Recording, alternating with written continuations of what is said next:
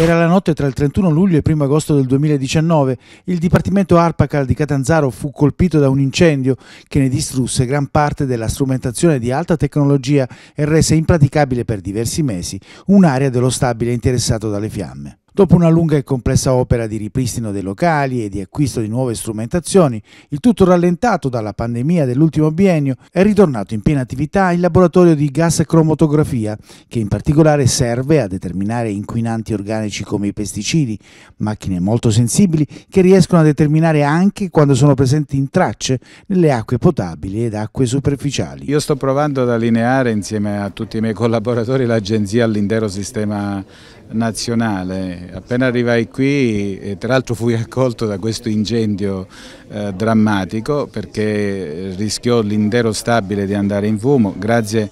ad un poderoso intervento dei vigili del fuoco la situazione fu abbastanza circoscritta e da allora abbiamo preso questo impegno di ripartire con determinazione e oggi credo restituiamo alla città di Catanzaro, alla regione Calabria, un laboratorio di altissima qualità perché poi abbiamo utilizzato l'occasione non solo per fare una ristrutturazione de, de, degli spazi che erano andati distrutti, ma abbiamo fatto un vero e proprio revamping delle attrezzature, quasi 3 milioni di euro di investimenti che eh, dire, hanno, in questo momento hanno allineato, se posso dirlo, o se non messo anche in un contesto di superiorità la nostra agenzia alle altre arpi italiane. Assolutamente, ma non solo per l'ARPA Calabria, ma per tutto il sistema nazionale per la protezione dell'ambiente, perché il rafforzamento della rete dei laboratori è un obiettivo preciso previsto dalla legge 132 ma è un obiettivo che ci siamo posti all'interno del Consiglio SNPA proprio perché riteniamo strategico ed importante dotare le agenzie regionali e tutto il sistema di infrastrutture laboratoristiche